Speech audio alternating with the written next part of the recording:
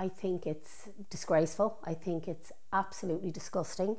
Um, I have read the recommendations of the Education Committee. As a mother of six children, um, all of whom who are in the education system, I would regard the material that they wish to present to children, children as young as primary school, um, as being quite explicit and that in any other context would be regarded as child grooming. Um, teaching children about pornography um, at a very young age is a robbery of their innocence and especially a betrayal of the relationship between a child and their parents.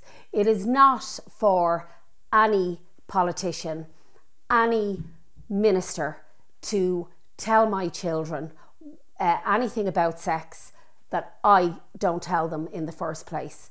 Um, I think all parents should be very, very concerned that their roles are being undermined.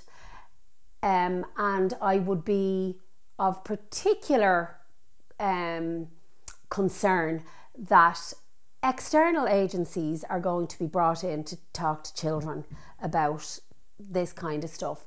That not only is it the parent who isn't doing it, but even the teacher that the parent knows, that the teacher, that the parent can talk to, um, it will be a, a stranger.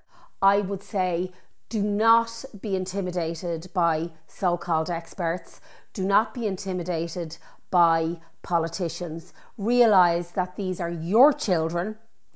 Um, they're your responsibility, and it is your right and your duty to educate your children as you see fit. And do not let anybody tell you otherwise.